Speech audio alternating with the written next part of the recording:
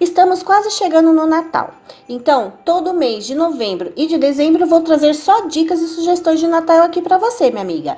E hoje o vídeo tá muito fofo, que é esse bonequinho de neve aqui que tá gracinha, estou apaixonada por ele. Então, vamos correr, separar os nossos materiais e fazer os nossos bonequinhos de neve para enfeitar a nossa árvore, porque os enfeites aí nas lojas estão para a hora da morte. Então, minha amiga, vamos correr e fazer os nossos bonequinhos de neve? Amiga! Tudo bem com você? Espero que sim, tá bom? Bom, se você é nova por aqui e ainda não me conhece, eu sou Debbie Colombo do Criando e Reciclando. Muito prazer! Agora, se você não é inscrita no meu canal, minha amiga, se você ama artesanato, como eu amo, é um motivo enorme para você se inscrever agora ativar o sininho para você não perder nenhum vídeo novo, porque todas as terças, quintas e sábados tem vídeo novo aqui no canal e eu tenho certeza que você não vai querer perder, tá bom? Então, vamos ao passo a passo?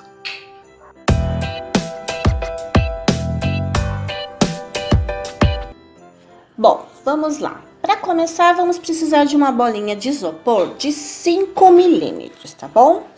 Você acha aí nas papelarias, e também fita número 1, um, branca. Um pedaço de feltro na medida de 17 por 8 centímetros, da cor da sua preferência. E um pedacinho laranja de feltro para a gente fazer o biquinho do nosso boneco. Vamos precisar de uma lixa de unha e estrelinhas, é, pérolas, é, bolinha de, mini bolinha de pompom e também esse fitilho aqui pra gente pendurar o nosso bonequinho. Linha e agulha. Tesoura e régua. Não podemos esquecer da nossa amiga cola quente, ok? Ah, para fazer os olhinhos, eu usei meia pérola preta, tá bom? Para iniciar, nós vamos pegar a nossa bolinha e lixar essas rebarbinhas que vem junto com ela, sabe? Aquela toda a volta. Vamos lixar toda ela, vai ficar assim, ó.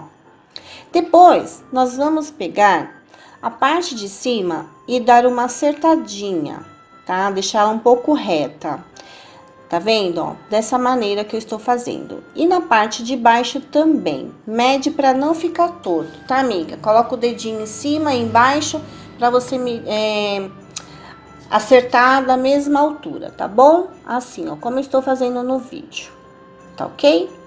Muito bem. Fácil.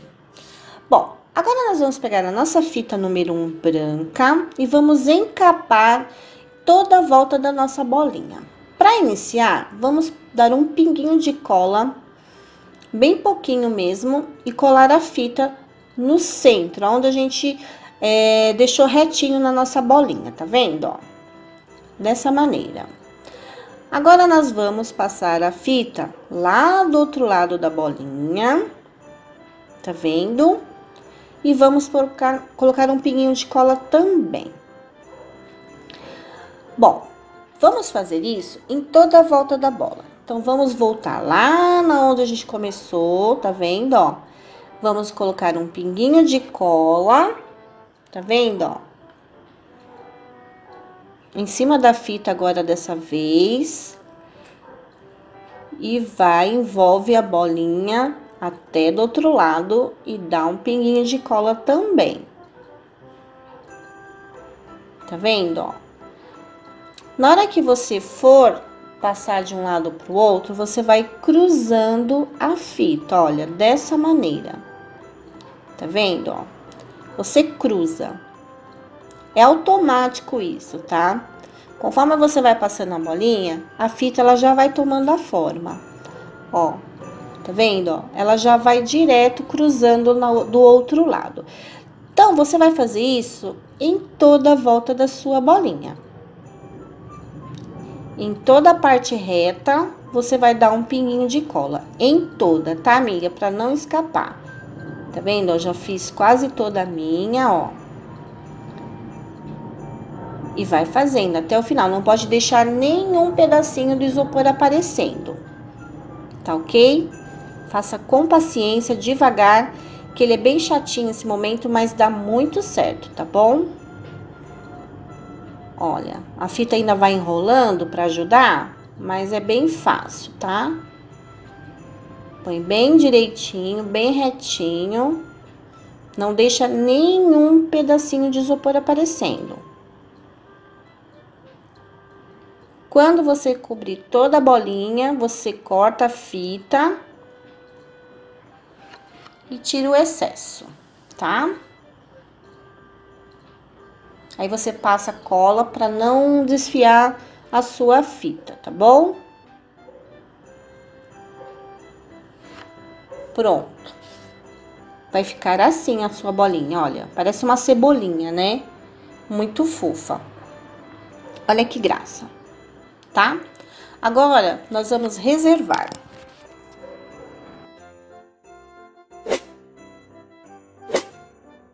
Bom, minha amiga, vamos dar uma pausa bem rapidinho aqui no, no passo a passo, que eu quero dar um recado para você aí que é artesã iniciante ou até mesmo uma artesã profissional já avançada que está com um grandíssimo problema de vender esse artesanato. Isso é comum, tá, amiga? Quase todas nós temos problemas de vender, mas euzinha aqui, Deb, tenho a solução para você. Eu tenho um mini curso gratuito com sete aulas com a Karine Otto. É um curso maravilhoso, gratuito e amiga. Para você receber, para você ganhar, é só você assistir o vídeo até o final, terminar de assistir o passo a passo, que lá eu vou te explicar como ganhar esse mini curso. É bem fácil, tá bom? Então eu te espero lá. Bom, feito isso da bolinha, vamos fazer a toquinha. Vamos pegar o nosso feltro e fazer umas marcações. Vamos pegar um lado e marcar 2 centímetros, como estou fazendo no vídeo, tá vendo, ó? 2 centímetros. Não passa um lápis muito forte, tá? Para não ficar marcado, passa bem de levinho. De preferência o lápis, tá? Muito bem, passa o risco. Agora, você vai virar e do outro lado, você vai fazer a marcação de um centímetro e meio.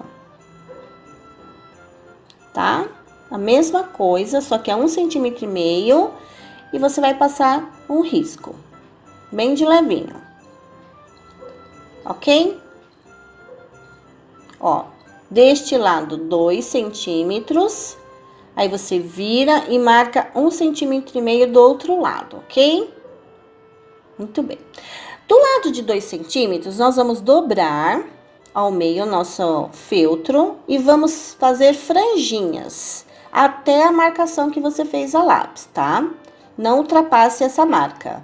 E você vai fazer isso em todo o feltro.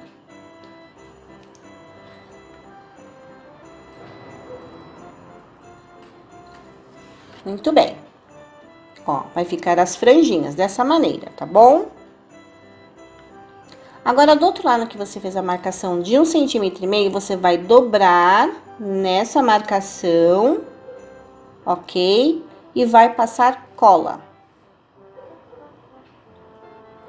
E vai ficar assim, ó, coladinha, tá? Certo? Até aí, muito bem. Agora, você vai dobrar ao meio, encontrar ponta com ponta, bem certinho, e vai com a parte que você colou pra dentro, tá? E vai passar cola até o risco, ó, não até a franjinha, tá bom? Não toda a franjinha, aliás. Até a franjinha você passa cola. Dessa maneira, ó. Essa parte você não cola, ok? Muito bem. Fácil, né? Se já gostou da dica, minha amiga, deixa um like aqui pra mim que ele é muito importante, hein? Não vai esquecer. Agora, vamos pegar o fitilho e vamos fazer uma argolinha, que vai ser onde vamos pendurar o nosso bonequinho de neve, tá? Tá? Aí você cola a pontinha com cola quente, vai ficar assim, ó.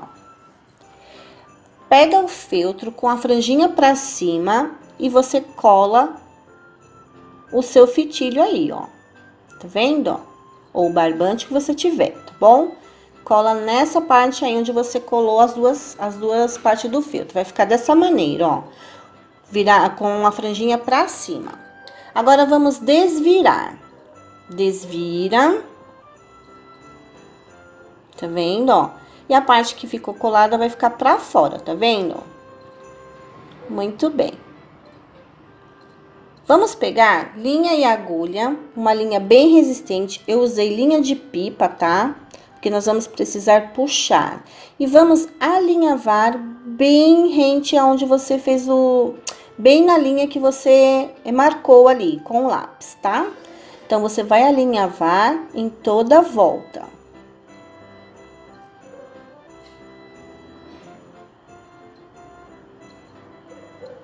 Chegando aí, você vai puxar a pontinha onde tem o nozinho, tá vendo? E vai fazer enrugar, ó. Vai ficar o gorrinho, tá vendo? Vai enrugar e vai dar um nozinho. Uns três nozinhos tá bom. E tira o excesso da linha. Entendeu? Muito fácil, né? Se não entendeu, amiga, volta o vídeo, como eu sempre digo, volta o vídeo quantas vezes você quiser. E o gorrinho está pronto. Agora, nós vamos colar ele na bolinha. Escolhe o lado bem bonitinho, para ser o rostinho, tá vendo, ó? Antes de colar, vê direitinho a posição, para não ficar torto. E vai passar cola quente por dentro do gorrinho. Aí, você cola. Certo? Ok. Olha que bonitinho, já tá com carinha de, de bonequinho de neve. Agora, vamos pegar mais um pedacinho de fitilho, tá vendo, ó? E pérolas, bolinhas, o que você tiver aí para fazer o enfeitinho do gorro, olha. Passa a bolinha por dentro do, do fitilho, dá dois nozinhos, tá vendo, ó? Para não soltar a bolinha e põe um pinguinho de cola.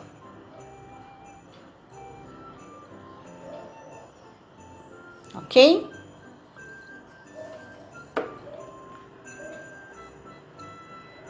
Tira o excesso e vamos fazer isso do, na outra ponta também, tá? Aí eu coloquei um sininho se você não tiver, não tem problema. E na outra ponta, outra bolinha. Dá dois nozinhos, um pinguinho de cola e encosta a bolinha ali e tira o excesso, ó. Vai ficar assim, ok? Muito bem. Agora, o que você vai fazer? Você vai amarrar lá onde tem as franjinhas do gorro. Dá dois nozinhos, ó, vai ficar penduradinho. E para fazer o acabamento, você vai usar uma bolinha de mini pompom. Se não tiver, pode ser uma bolinha de algodão também, tá? Ou um botão, uma florzinha, o que você tiver, amiga, tá? Para fazer o acabamento, olha. E para ficar mais bonitinho, eu cortei algumas estrelinhas de EVA com glitter, colei uma pérolazinha no meio e colei no gorrinho também. É uma sugestão, tá? Pronto o gorrinho. Agora, nós vamos fazer o quê? O biquinho do nosso boneco. Você vai pegar uma pinça ou alguma coisa assim, ó, e enrolar esse pedacinho de, de feltro laranja, ó, e fazer um biquinho, tá vendo, ó? Faz esse biquinho, tira o excesso e corta bem na pontinha. Ó, fiz o biquinho. Fácil, né? Aí você vai achar a posição bem certinha, bem centralizada e cola com cola quente. Certo? Agora a boquinha. peguei um pedacinho de feltro vermelho e fiz uma boquinha bem simples, tá? Nada de segredo ali. Fiz a mão mesmo. Ó,